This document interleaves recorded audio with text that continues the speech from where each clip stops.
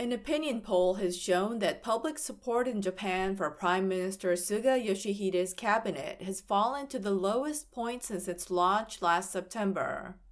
Nippon TV, its affiliates, and the Yomiuri Shimbun conducted the telephone survey on 1,070 eligible voters nationwide from June 4th to 6th. The approval rate for the cabinet stood at 37%, down 6 percentage points from May. Exactly half of the respondents said they disapprove.